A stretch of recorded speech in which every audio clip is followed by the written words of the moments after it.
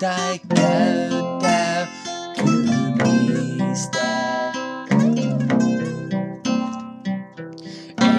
Erottamisesta kolmekymmentä virkamiesten epärehellisyys ja väärin käytösten epärehellisyys.